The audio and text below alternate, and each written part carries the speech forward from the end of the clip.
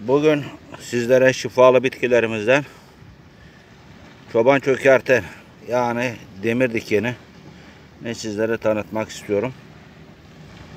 Genellikle kumsal yerlerde yapışık olarak yere yapışık olarak yetişir. Çiçekleri sarı olur.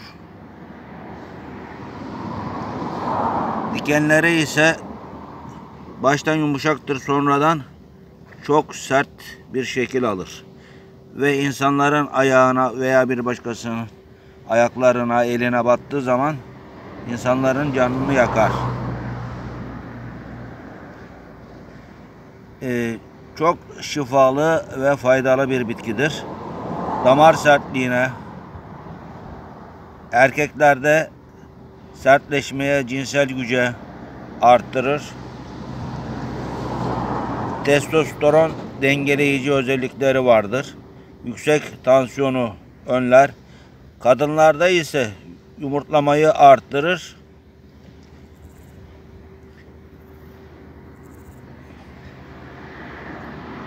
Erkeklerde ise sperm sayısına çok büyük katkı sağlar. Sert sertleşmeyi sağladığı gibi erkeklerde cinsel gücü de arttırır.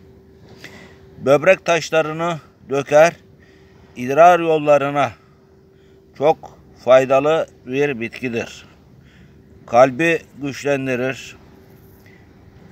Kas ve vücuda enerji verir. Bağışıklık sistemini güçlendirir.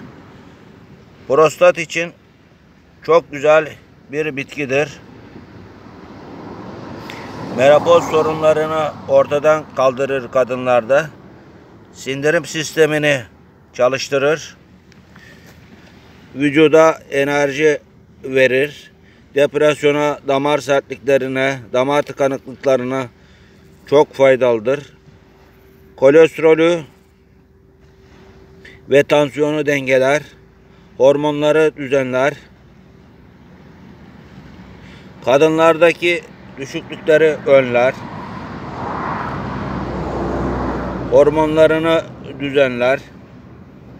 Gözler içinse ayrı bir şifa kaynağıdır.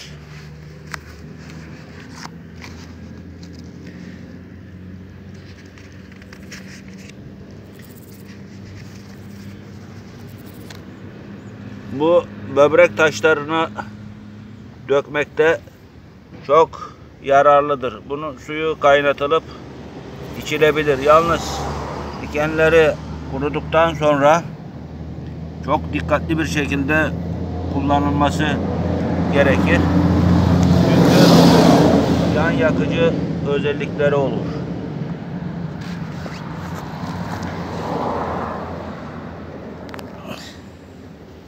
Bu çiçekler böyle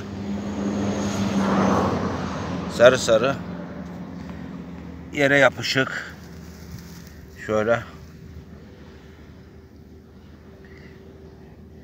ince yapraklı dikenli bir bitkidir.